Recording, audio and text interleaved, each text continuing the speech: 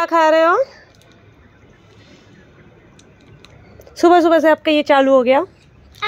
Chocolate खाने? दिया? हाँ मैंने दिया बट आपको खाना नहीं चाहिए। तो हम्म?